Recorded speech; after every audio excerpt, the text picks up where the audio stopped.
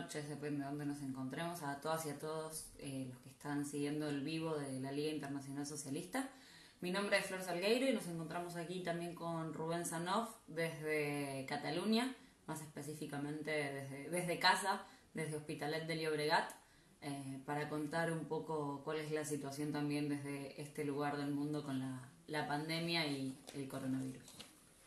Eh, hola, buenas noches. En primer lugar, bueno, queremos decirles a todos los que nos están mirando que nos encontramos bien, de salud, al igual que las compañeras y los compañeros de Sol que están en distintas ciudades del Estado español. También queremos comenzar mandándole un abrazo a las familias que han perdido algún ser querido o, o tienen algún amigo o familiar enfermo y en particular un agradecimiento y un abrazo enorme a las trabajadoras y los trabajadores de la salud eh, que están en la primera línea del enfrentamiento al virus.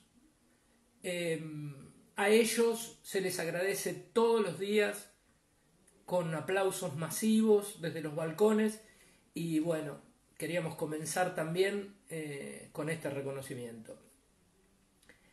Estamos atravesando eh, una pandemia que ha generado una grave situación sanitaria a nivel mundial.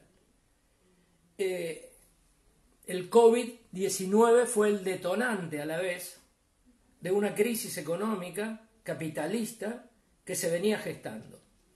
Y aunque todavía no ha terminado, todavía está lejos de terminar, ya ha desnudado las consecuencias que ha tenido la política de austeridad, de desigualdad, de desarticulación de la salud y de los servicios públicos, con los ajustes aplicados a partir de la crisis del 2008.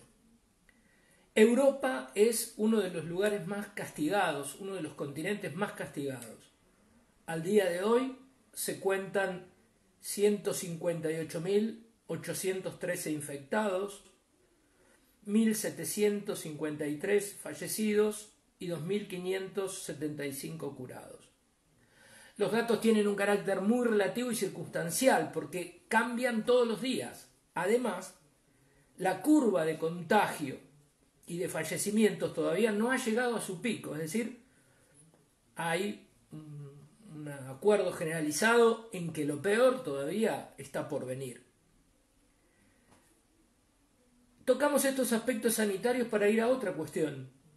Ha salido en estos días una encuesta que señala que nueve de cada diez españoles reconocen su preocupación por la pandemia, que el 51% teme perder su empleo y el 60% cree que su sueldo se va a reducir. Es decir, la amenaza tiene dos caras. Por un lado es el COVID-19 y por el otro los ajustes capitalistas que ya comenzaron y los que van a venir. Se dice que aquí estamos en el mundo desarrollado, en las democracias avanzadas. Bueno, veamos entonces cómo están respondiendo a esta crisis el bloque imperialista europeo y el gobierno del Estado español. Nosotros creemos que lo están haciendo con acciones sanitarias a destiempo, de dudosa eficacia, con elementos de autoritarismo y más proclives a salvar las ganancias patronales de un puñado de empresarios que a cuidar la vida de millones de personas ya afectadas y de otra enorme cantidad que es potencialmente contagiable. Veamos la Unión Europea. No hubo medidas sanitarias comunes.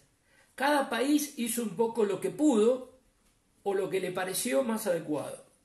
Las diferencias políticas entre todos, entre los 27 miembros, impidieron una respuesta rápida, inclusive habiendo visto lo que sucedió en Italia.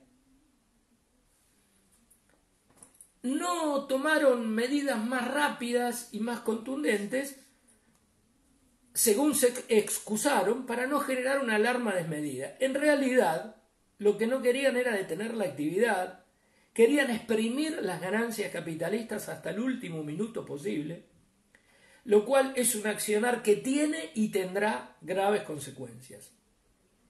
¿En qué se pusieron de acuerdo rápidamente? Se pusieron de acuerdo en que había que destinar millones de euros a salvar a los capitalistas. El Banco Común Europeo comprará 750 mil millones de euros en activos públicos y privados. Con esto, obviamente, va a beneficiar a los gobiernos para que estos financien los planes de estímulo empresarial. Nosotros no podemos dejar de mencionar que en el medio de esta crisis hay más perjudicados y vulnerables, sectores más perjudicados y vulnerables. Por ejemplo, los refugiados. Eh, hace poco mm, tocamos el caso de la frontera turco-griega, pero tiene que saber el mundo que em, hay casi 40.000 personas en campos de refugiados que están al borde de una verdadera catástrofe humanitaria. Eh, fíjense cómo es el capitalismo. Hace 10, 15 días eh, la Unión Europea facilitó 700 millones de euros, eh, fuerzas de seguridad, helicópteros y demás, pero no para ayuda humanitaria sino para fortalecer el escudo, el que le dicen el escudo de Europa en Grecia, y no para ayudar a los refugiados inmigrantes. Es decir, los refugiados, si llega a entrar en esos campamentos el COVID, eh, van a estar al borde de una catástrofe humanitaria. Eso también sucede en Europa hoy. El Estado español y el régimen parlamentario monárquico parlamentario actuaron más o menos de la misma forma. Cuando la crisis era gravísima en Italia, que está a una hora y media de vuelo, hicieron medio como que no pasaba nada, y cuando empezaron a aparecer los primeros casos en Madrid, que, eh, eh, eh, es la capital, es la ciudad, una de las más afectadas por la enfermedad, las medidas que tomaron fueron parciales, desconocieron planteos más realistas de algunas autonomías. Y entonces uno puede preguntarse, bueno, existiendo un gobierno que se autodefine como progresista, el de el PSOE y Podemos, algunos habrán pensado, bueno, tomarán medidas que son cualitativamente distintas a las que han tomado otros gobiernos de derecha. Sin embargo, no es esa la tónica. Como tampoco la es en otro gobierno que se define como de izquierda y socialista en Portugal, que acaba de tomar, por ejemplo, la medida de prohibir las huelgas. ¿Cuáles fueron las medidas que se tomaron en el Estado español? Hubo dos paquetes, por decirlo eh, en líneas generales, eh, dos paquetes centrales de medidas. Una es la declaración del estado de alarma. Y la otra son una serie de medidas de emergencia que luego Flor va a, contar cuáles fueron. Pero vamos al estado de alarma. El estado de alarma es una figura constitucional que restringe algunos derechos de movimientos, es previa al, estado de excepción y al estado de sitio, implica la recentralización momentánea de la sanidad y también de las fuerzas de seguridad. Es decir, que las decisiones pasa a tomarla el presidente español por encima de las autonomías, que a su vez tienen sus propias instituciones y sus propios presidentes. Esto motivó que haya desde las autonomías muchas críticas y planteos que se agudizaron cuando empezó a desplegarse eh, el ejército Em, han comenzado también las primeras sanciones por salir al espacio público sin un justificativo. Em, y, señalamos esto porque no es un detalle menor que haya una tendencia a medidas autoritarias en un, en un Estado español en el que hay fuertes cuestionamientos al régimen por autoritarismo. No es el único camino, no es cierto que sea el único camino. Es decir, en Corea del Sur, y no es un gobierno progresista ni nada por el estilo, tuvieron muy buenos resultados porque actuaron rápidamente, apelaron al convencimiento más que al autoritarismo, eh, hicieron test masivos, cosa que tampoco se están haciendo. Es decir, la, el confinamiento es una medida eh, que, no, que no es suficiente, ni la panacea, ni el único camino posible, aunque por supuesto lo estamos cumpliendo como todo el mundo eh, en, nuestros hogares. Em, como decía, hay expresiones eh, de autoritarismo y de utilización política de lo que está sucediendo. Por eso el gobierno de Pedro Sánchez permanentemente apela como eje político a la unidad de España. Incluso se filtran algunas este, apelaciones al patriotismo. Y no es casualidad entonces que tanto la derecha como la ultraderecha eh, haya salido a aplaudir las medidas, haya salido a felicitar al gobierno con el que se venía peleando e incluso ha comprometido su apoyo para votar a favor el presupuesto, que sería un presupuesto de reconstrucción cuando pase la crisis. Solamente eh, expresiones de izquierda, em, eh, principalmente en Cataluña, en el País Vasco, donde estamos nosotros, la CUP, han sido críticas de las medidas del gobierno y también con propuestas para eh, llevar adelante mejor la gestión en esta emergencia. El marco indispensable es saber que hay una crisis muy grande del régimen. A los propios días, y, esto también afecta eh, en forma importante a cómo se responde a la crisis sanitaria.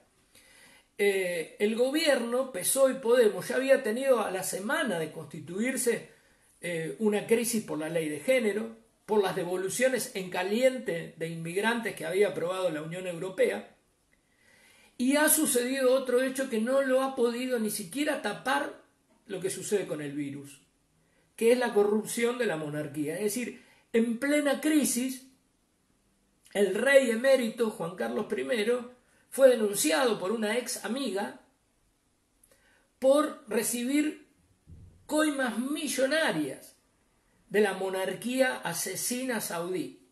Estamos hablando de cuentas offshore por 100 millones de dólares. Eh, y de utilizar los servicios de inteligencia del Estado para intentar que esto no saliera a la luz. Eh, ¿qué, ¿Qué hizo el gobierno? En la comisión parlamentaria se había pedido, la CUP y otras expresiones pidieron que haya una comisión de investigación al rey y otra vez lo volvieron a salvar y volvieron a negar la posibilidad siquiera que se investiguen estas denuncias.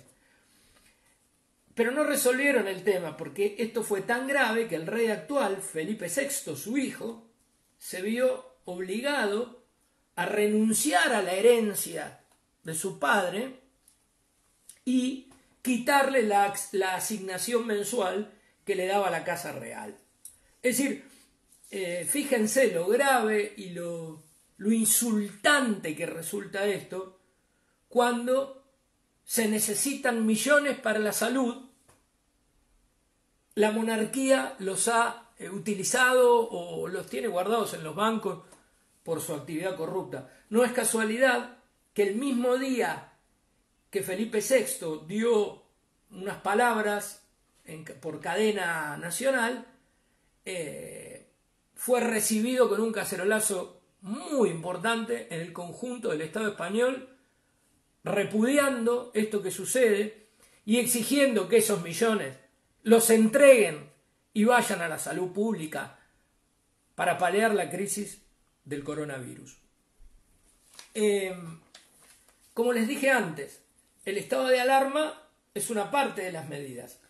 Hay todo otro paquete de medidas que afectan a los trabajadores, de los cuales va a hablar Flor ahora. Sí, ¿no? como, veníamos diciendo, lo que refleja la, la, pandemia y la crisis es que una vez más el gobierno lo que va a destinar es el dinero a salvar a las empresas más que a salvarnos a los trabajadores y somos los trabajadores los que vamos a terminar pagando esta crisis no solo sanitaria sino también crisis económica. Eh, ayer cuando hablaba eh, Pedro Sánchez por cadena nacional eh, lo dejaba muy claro, digamos, a investigación se le van a destinar 30 millones de euros únicamente contra los 200 millones de euros que pusieron hace menos de una semana con la firma del último Real Decreto para salvar a las empresas. Y no estamos de salvar hablando de salvar a los autónomos o a las pequeñas empresas locales y familiares, sino 200 millones de euros para salvar a grandes cadenas como Starbucks, Burger King, H&M, Cortefiel, Iberia, Ryanair, etc. Ahora voy a explicar por qué específicamente la salva a estas empresas, o mejor dicho, a las grandes multinacionales. Otra de las medidas que, decretó o que se firmó en el Real Decreto que se estaba esperando era qué iba a pasar con los que los, alquileres y con las hipotecas, que acá mucha gente pagó alquiler o hipoteca. Hubo una moratoria de hipotecas, pero cuando uno se pone a leer la letra chica, para llegar a la moratoria de la hipoteca uno tiene que demostrar que el mes anterior a la crisis sanitaria ha sufrido una pérdida de ingresos y además tiene que demostrarte una serie de medidas o de cosas económicas que los tienen que demostrar en vulnerabilidad. O sea que no es que hay una moratoria de hipotecas para todo el que paga hipotecas, sino para un sector muy pequeño. y no hay ninguna respuesta, por ejemplo, para los que pagan alquileres o contra los desahucios. Los desahucios siguen adelante y los alquileres, los trabajadores y las trabajadoras los vamos a tener que pagar igual que lo veníamos pagando hasta ahora, aunque estemos en paro, aunque se nos haya reducido el sueldo o aunque haya pasado lo que haya pasado. O sea, los 200 millones que se pusieron son para salvar pura y exclusivamente a los empresarios, en ningún momento a la clase trabajadora. Eh, lo mismo el corte de suministros que se firmó en el, en el, Real Decreto. Se esperaba luego de las medidas de Francia e Italia, bueno, que van a hacer acá con los servicios básicos. Servicios básicos entendemos agua, luz, gas y aquí también los servicios de telecomunicaciones. Va a haber un no recorte, pero para un sector muy económicamente vulnerable que todavía ni siquiera está detallado cómo van a acceder a ello, cómo se puede pedir o quién lo puede solicitar. O sea, no, no hay claridad tampoco. Y después, otra de las grandes medidas que decretó este gobierno para la clase trabajadora es el fomento del teletrabajo. Y aquí es donde viene uno de los grandes problemas, digamos. Aquí en España, a diferencia de otros lugares, el Real Decreto que se firmó y el estado de alarma, como explicábamos, no impiden ir a trabajar. De hecho, vos podés movilizarte para ir a trabajar. Si tu patrón o patrona te hacen ir a trabajar, vos tenés que ir a trabajar. Eh, entonces lo que sugiere el gobierno es que se fomente el teletrabajo, pero el teletrabajo tiene varios problemas. El primero es que el, mismo día que se decretó el estado de alarma, todos nos mandaron un ordenador en caja a trabajar desde nuestras casas, sin garantizarnos ni el pago de los servicios, o sea, nosotros los trabajadores pagamos la luz, el gas, el agua de nuestro hogar y el servicio de telecomunicaciones que ponemos durante nueve horas por día al servicio de la empresa para que la empresa siga generando ganancias. Y además no se cumple con ninguna de las medidas de regulación de riesgos del trabajo. Y como si todo esto no fuera poco, eh, se va a establecer un sistema de autoevaluación. O sea, somos los propios trabajadores los que nos vamos a tener que evaluar para ver si estamos no haciendo bien nuestra tarea, que a fin de cuentas lo único que garantiza es que el patrón siga recibiendo sus ganancias y no cierre la empresa, digamos, porque esa es la otra gran, eh, el gran argumento que se pone acá y que los medios y la psicosis social están generando, que es la famosa ponerse la camiseta de la compañía. Si vos no defendés los intereses, te puedes, ojo que con esta crisis te puedes quedar sin trabajo. Entonces, muchos trabajadores se ven sobreexplotados en sus condiciones normales para poder garantizar que la empresa siga obteniendo ganancias. Y y lo último, o también lo que hay que rescatar, es que el, último Real Decreto, una cosa que aceleró, son los ERTE. El ERTE es una figura que existe desde la última reforma laboral, desde la reforma laboral de Rajoy del 2012, que la, traducción de estas siglas es eh, expedientes de regulación temporal de empleo. Es una figura que los sindicatos, o mejor dicho, la burocracia sindical, le venía pidiendo previo a que se decrete el estado de alarma al gobierno que los acelere para que las empresas puedan ejecutarlos y el gobierno esta última semana se dio la mano con la burocracia sindical y los aceleró. Los ERTE, estos expedientes, lo que permiten básicamente es que las empresas puedan decir que por razones de fuerza mayor, como es este caso, como su producción se ve reducida o mermada o discontinuada, no pueden mantener a su plantilla como la estaban manteniendo, entonces mandan a la gente a su casa. Lo que garantiza el gobierno es que esa gente cobre el paro durante el tiempo que esté sin empleo, el paro que no va a pagar el empleador, sino que lo va a pagar el Estado. Le van a pagar el 70% de lo que le correspondería a un trabajador si se fuera el paro normalmente. Y lo otro que progresivamente puso el gobierno es que cuando se resuelva la emergencia sanitaria, durante los próximos seis meses no pueden despedir a esa gente. Pero en vez de ser los empleadores, y insistimos con el primer concepto, para las empresas pequeñas o locales está bien, pero ahora que vengan a decirnos que Starbucks, Burger King, HM, Cortefiel o grandes multinacionales como Iberia, eh, como la SEAT, como Volkswagen, porque 15 días no puedan producir, no le pueden pagar el sueldo a su plantilla y que por eso lo mandan a su casa, que cobren el 70% del salario que encima se lo va a pagar el Estado, nos parece que es una vez más salvar a las empresas con la justificación en este caso de la pandemia y preparan un territorio para que cuando todo esto se resuelva eh, o, o, vuelva la producción a estar en un estado seminormal, los salarios además se disminuyan. Eso es lo que se está previendo acá, que los salarios vuelvan a bajar y que se afecten sobre todo los derechos de los trabajadores como se está haciendo ahora. Derechos que ya las últimas reformas laborales nos habían eh, recortado y que se van a profundizar sus recortes cuando se salga de esta pandemia. En conclusión, para nosotros una vez más lo que se demuestra aquí es que una vez más nos van a hacer pagar a las trabajadoras y los trabajadores el costo de esta crisis, de esta pandemia, que van a salvar a los empresarios y amigos y que la burguesía va a aprovechar para recortar todos los derechos de los trabajadores o seguir recortando derechos que aquí ya venían siendo bastante recortados. Bueno, otro de los aspectos que queríamos mencionar es que la pandemia está poniendo en evidencia lo que han causado las privatizaciones y los recortes a los presupuestos de salud. Eh, en Europa, en el Estado español, se vienen haciendo desde hace bastante tiempo y se profundizaron con las medidas posteriores a la crisis del 2008. Eh, también la destrucción del estado de bienestar o del estado social. Ahora se van a ver las consecuencias de no haber invertido ya se están viendo en la salud de la población.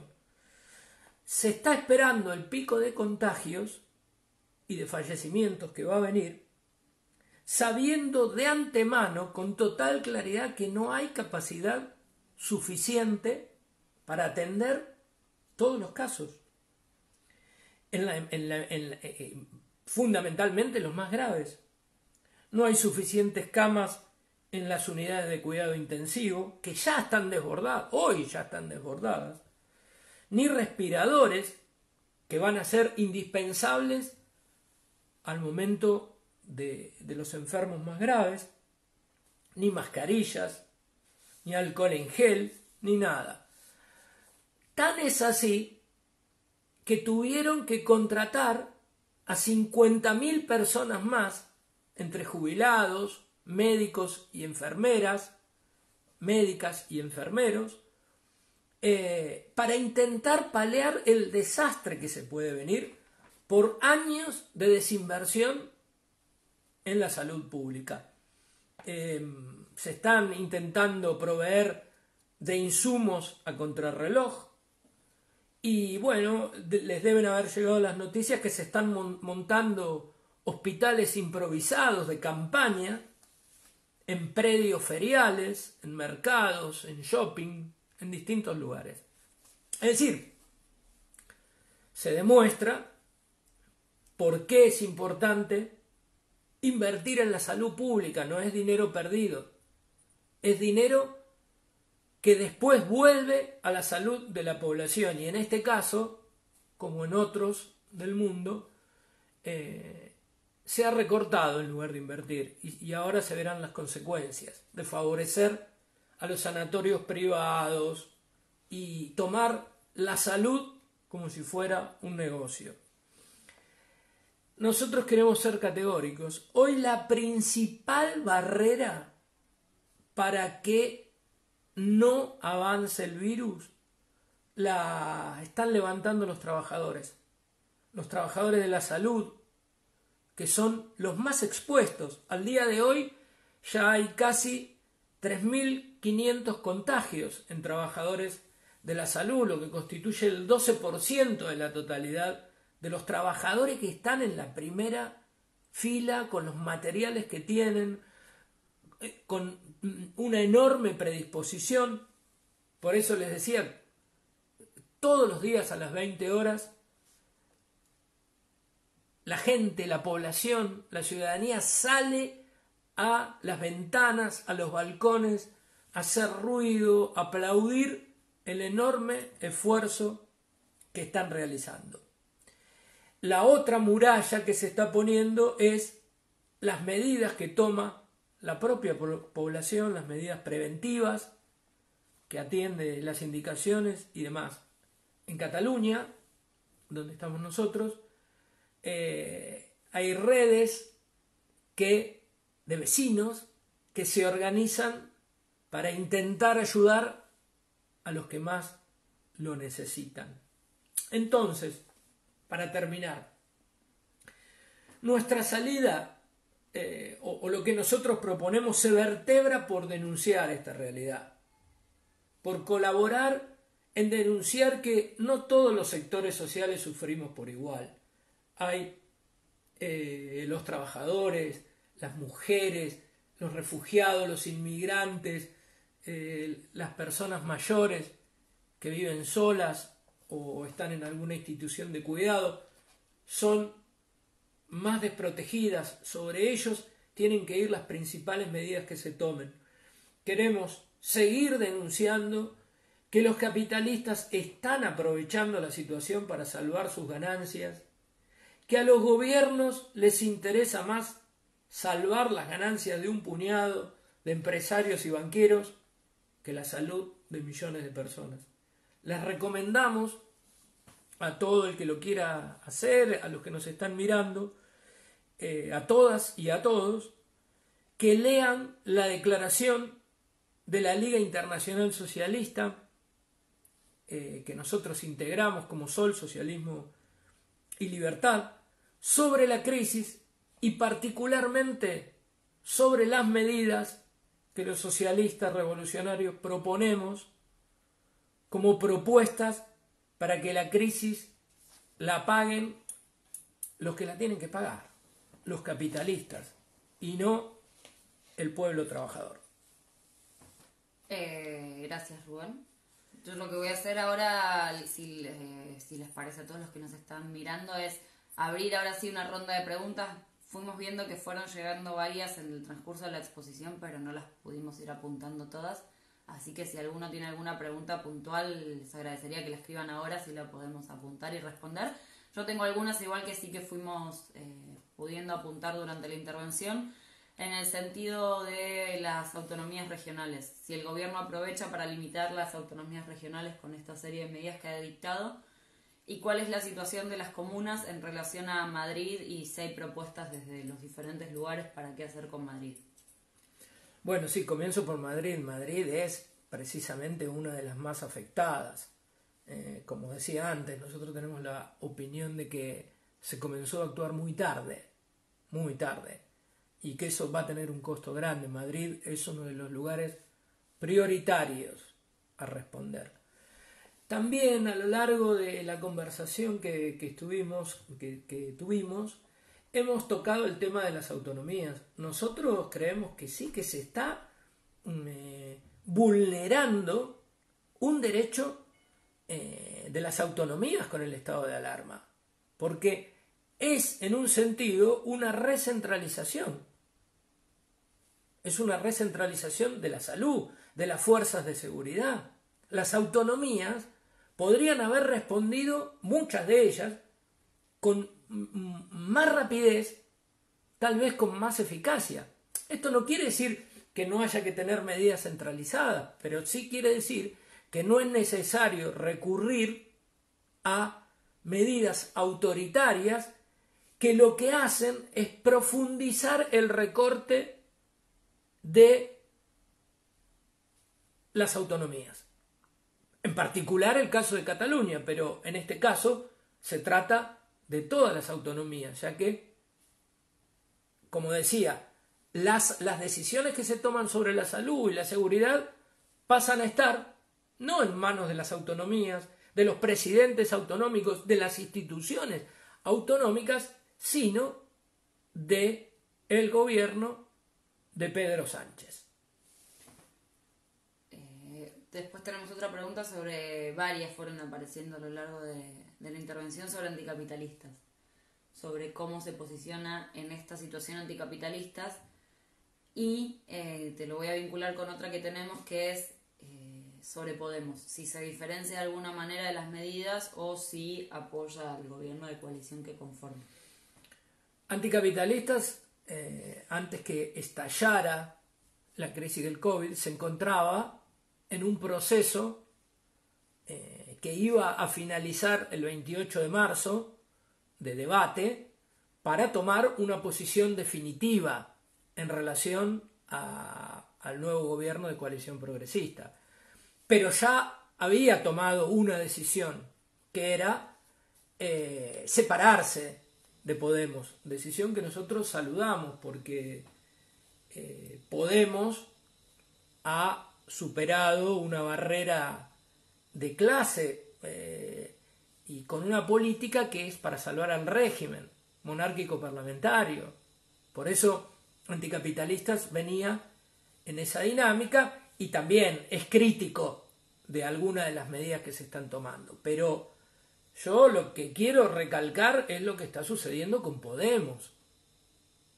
Lo que está sucediendo con Podemos. Podemos, la integración es absoluta. Eh, en la sesión parlamentaria de esta semana que pasó, del día martes, creo que fue, no recuerdo el día, Echenique fue su vocero, eh, es el secretario de organización y, y dijo que era la primera vez que se sentía orgulloso, completamente orgulloso de su gobierno y de todo lo que está haciendo.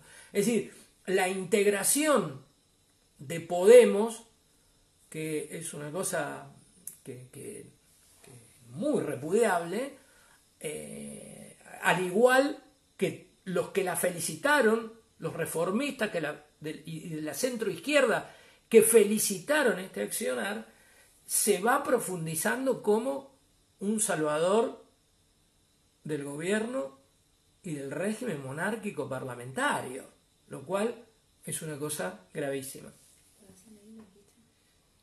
Sí, eh, me, apunta Flor, ¿no? Pablo Iglesias es el titular de la CNI en la actualidad, ¿no es cierto?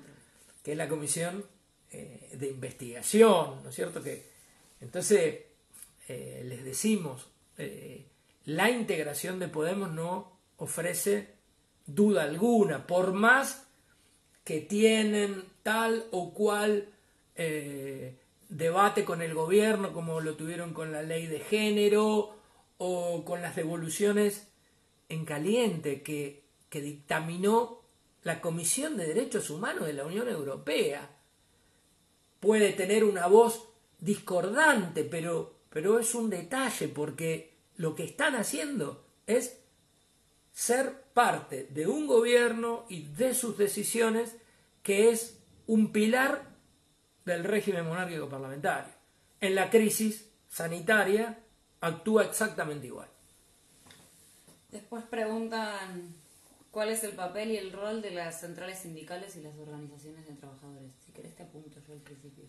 Dale, dale. Eh, como decíamos en la, en la intervención, aquí las centrales sindicales se dividen esencialmente en todo el Estado español, tienen representación por mayoría, comisiones obreras y UGT. Después hay con, menor representación, pero sí a, nivel de todo el Estado, está CNT y CGT y después hay representaciones sindicales según las autonomías, como por ejemplo en el caso de Cataluña el intersindical.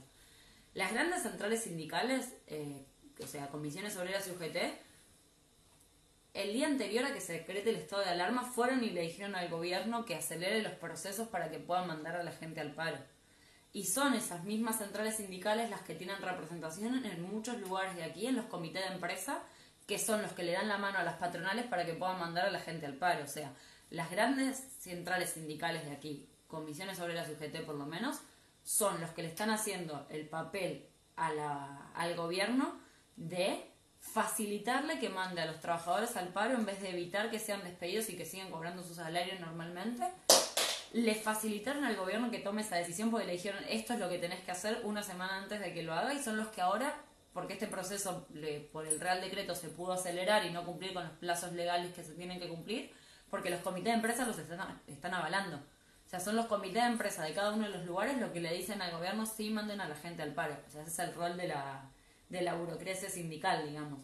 Y no salen a denunciar algo que nosotros sí queríamos remarcar, eh, yo me lo olvidé en mi intervención, pero que es, por ejemplo, la, dentro de las medidas que propone la CUP y que nosotros también celebramos o, compartimos, es cuando fue la crisis del 2008 acabó un salvataje enorme a los bancos, a los bancos a la banca privada, para salir de la crisis, que le puso 70 millones de euros al Estado para que pueda seguir esta crisis. Entonces, por ejemplo, en vez de que los 200 millones de euros ahora para salvar a las empresas, como quiere hacer el gobierno, salgan del Estado, se le podría pedir a los bancos que devuelvan esos 70 millones que nunca devolvieron, que el Estado salvó, para que frenen también esta crisis. Sí, yo quiero señalar otra cuestión ligada a lo que decía Flor y algunas de las preguntas que nos hacen. En el Estado español, hubo cinco reformas laborales. Hay, hubo eh, durante el gobierno del PP y Mariano Rajoy y, también sobre gobiernos socialistas anteriores, pero esencialmente con el gobierno del PP, una ofensiva tremenda sobre las conquistas obreras, muy grande. Cuando asume el nuevo gobierno, lo hace con la promesa de ir hacia atrás, de anular las reformas laborales. Claro, lo que pasa es que por, lo, por la vía de los hechos, con todas estas medidas, lo que se hace es profundizar las reformas laborales, no eliminarlas. Y se hace con una profunda indefensión de la clase trabajadora. Flor tocó el tema de los ERTE. Fíjense lo que sucedió una semana antes, una semana antes de que saliera el Real Decreto del estado de alarma. Hicieron una reunión los empresarios, los representantes de, los, de la gran patronal del Estado español y las centrales sindicales mayoritarias. Y se pusieron de acuerdo en que era necesario agilizar los ERTE, en pedirle al gobierno que los agilice para permitir un rápido eh, eh, pasaje de los trabajadores a la situación de paro. Claro, cuando el gobierno lo aceptó, ya había, por lo menos son los cálculos estimativos que salen en los diarios, más de 100.000 ERTES hechos. Es decir, más que pedirle autorización al gobierno, que, el gobierno se las dio, lo que hicieron fue comenzar a mandar trabajadores al paro rápidamente. Em, hay otra posibilidad. En Italia, que uno no puede decir que sea ni un gobierno progresivo ni nada, es un gobierno burgués también, eh, prohibieron los despidos, por lo menos por 60 días. Entonces, esa era la medida, prohibir los despidos. Hubo otros gobiernos también, reaccionarios, burgueses, en Italia o incluso en Francia, que hablaron, se abrieron a la posibilidad de que se nacionalicen empresas. Acá cuando le preguntaron a Pedro Sánchez, al gobierno autodefinido de coalición progresista, si se abría la posibilidad de nacionalizar empresas, dijo que de ninguna manera, que lo que querían hacer y, que todo el esfuerzo en millones de euros es para ayudar a las empresas, no para nacionalizar. Hago una, perdón, ¿eh? una pequeña aclaración por un tema idiomático que nos olvidamos los dos. Cuando nos referimos que la gente vaya al paro en, el Estado español, eh, a diferencia de la palabra paro usada en Latinoamérica, nos estamos refiriendo, el paro acá es el desempleo. Es mandar al paro es que te mandan a tu casa desempleado y vos tenés derecho a cobrar una prestación contributiva que es el paro. ¿Qué quiere decir prestación contributiva? Vos, de tu eh, nómina, te descuentan todos los meses cuando vos cobras una parte que va a cubrir el día que vos te quedes desempleado, una, una contribución que te tiene que pagar el Estado por estar desempleado. Eso es irse al paro, digamos, porque acá el paro, como uno lo va pagando durante todos los meses que trabaja, tiene derecho a irse al paro cuando no tiene trabajo en blanco, siempre y cuando sea despedido por la patronal o se le termine su contrato de trabajo temporal, porque si no te renuevan o si te vas por arreglo o etcétera, no tenés derecho al paro. Pero el paro no es llamar a una huelga o, ir a una concentración masiva en las calles, sino que acá el paro es quedarse sin trabajo, digamos. Eh, no nos habíamos olvidado aclararlo y por una cuestión idiomática si no, no se entiende. Em, después tenemos, esta la dejo para el final, dos preguntas más sobre si hay planes eh, desde el gobierno para hacer test masivos o cómo funcionaría eso y cuáles son las consecuencias a nivel económico y cómo están vistas en, esta, en este contexto también las organizaciones de ultraderecha o de derecha, sean Vox y el PP, etcétera, ciudadanos. Ya hay científicos y médicos que están diciendo que eh, antes de tomar medidas autoritarias, eh, los test masivos son una, una posibilidad que, se, que habría que aplicar. Acá todavía no se hizo. Ya hay otro ejemplo. En Corea del Sur sí se hizo. Hacían los test rápidos a personas que eh, inclusive iban en su vehículo. Una de las últimas noticias que leí, entiendo que se va a empezar a implementar algo así principalmente en Madrid, pero, pero todavía no es una medida generalizada. Y esa sí sería una medida muy... ya se ha probado en otros lugares como una medida muy positiva.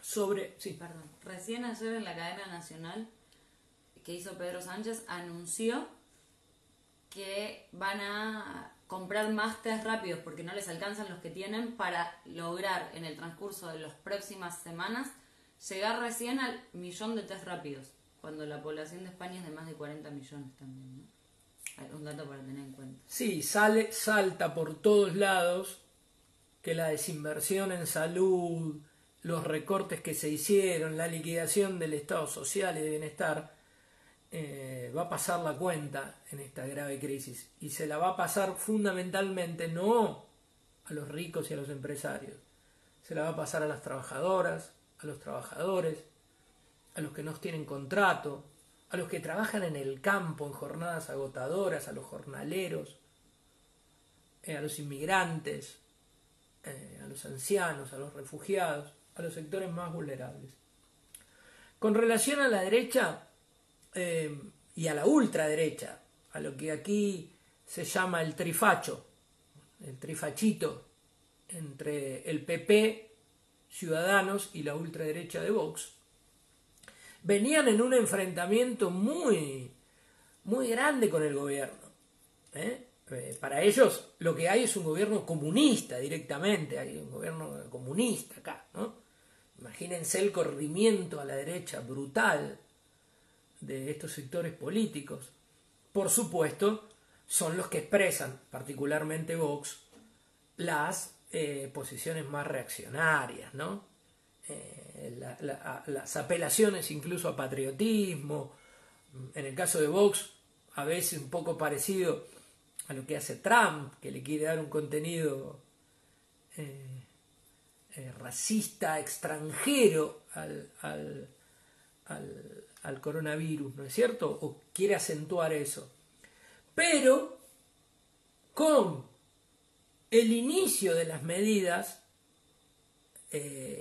a nivel del conjunto del Estado español tomado por Pedro Sánchez, variaron su posición. La variaron totalmente porque, porque saben, y, lo venían exigiendo de antes, que las medidas que toma Pedro Sánchez son de recentralización. Son para favorecer el Estado central del Estado español. Además de las cuestiones sanitarias. Por eso salieron a decir, qué bien que estuvo eh, eh, Sánchez, bueno, qué, qué autonomía, ni autonomía, acá es la unidad de España. Salieron a aplaudir este, esta cuestión que se está llamando a la unidad entre trabajadores y empresarios. Ese es el giro que dio la derecha con claridad. Ciudadanos directamente comprometió su apoyo para aprobar eventuales presupuestos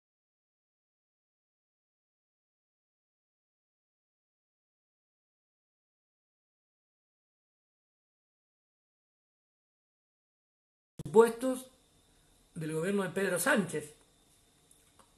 Obviamente hacen críticas y tratan de diferenciarse, pero, pero la crisis motivó un cambio en sus posiciones, que es la de, la de apoyar eh, sin, eh, sin grandes cuestionamientos al actual gobierno burgués y eh, plantear que ya habrá tiempo para hacer críticas. Es decir, siempre que, que hay esto, ¿no?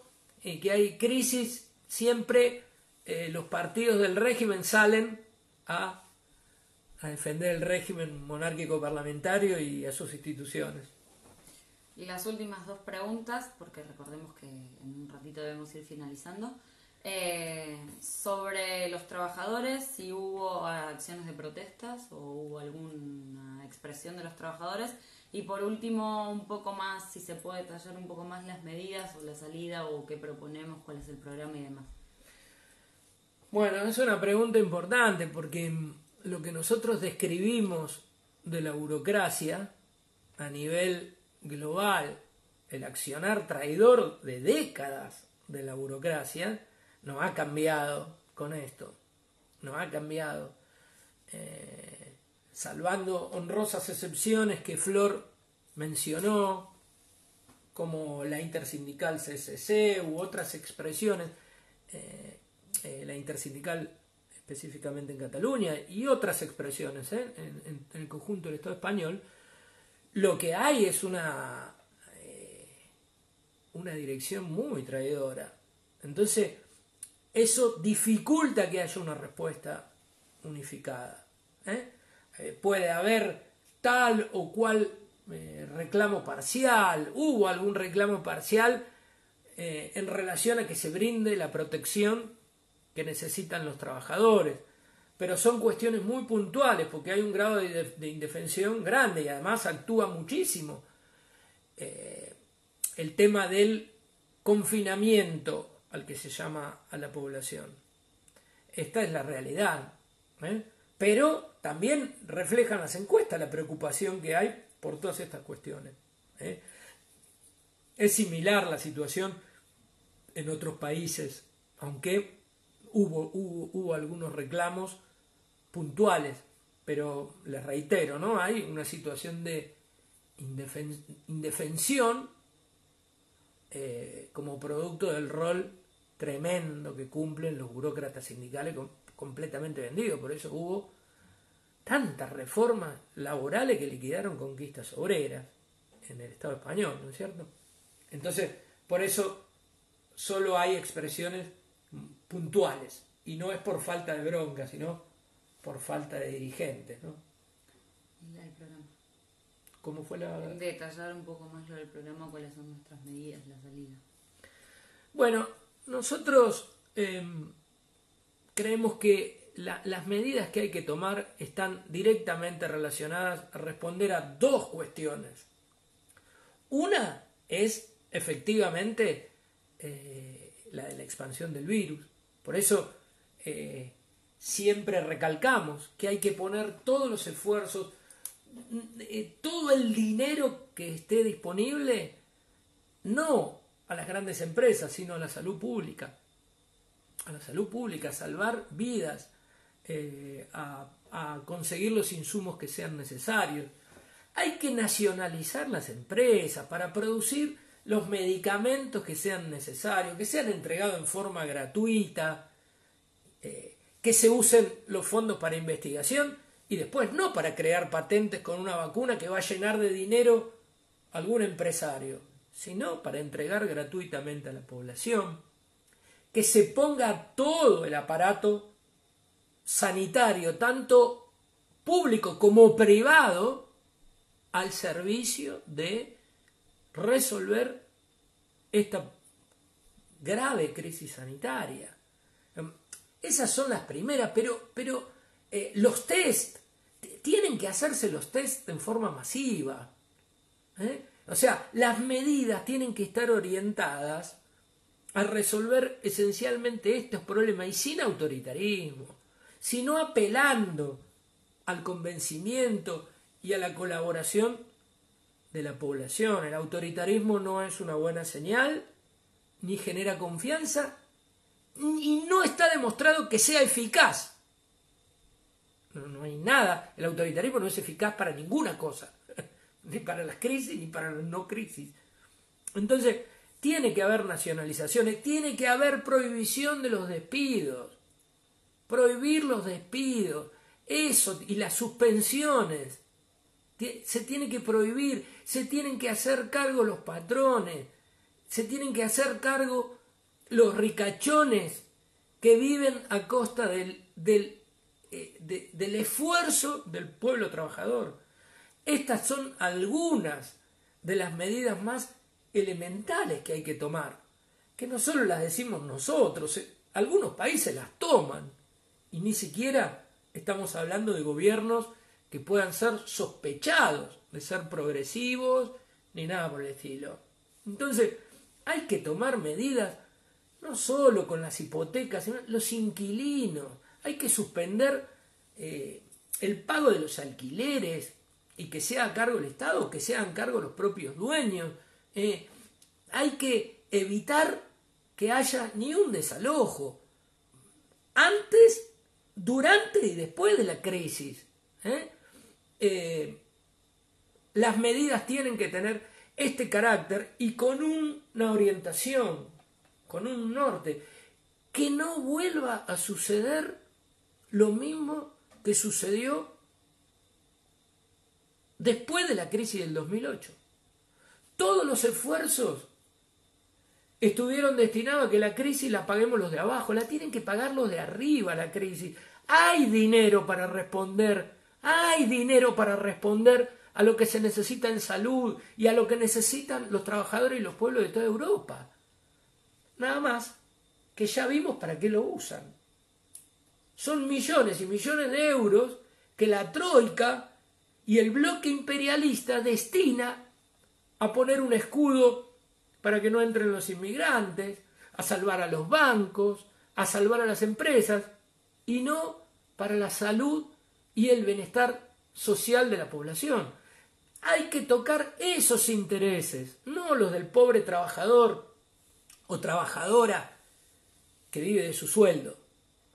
Eh, este paquete de medidas, más otras transicionales, de fondo, las van a poder encontrar tanto en nuestras publicaciones como en la página de la Liga Internacional Socialista perfectamente desarrolladas.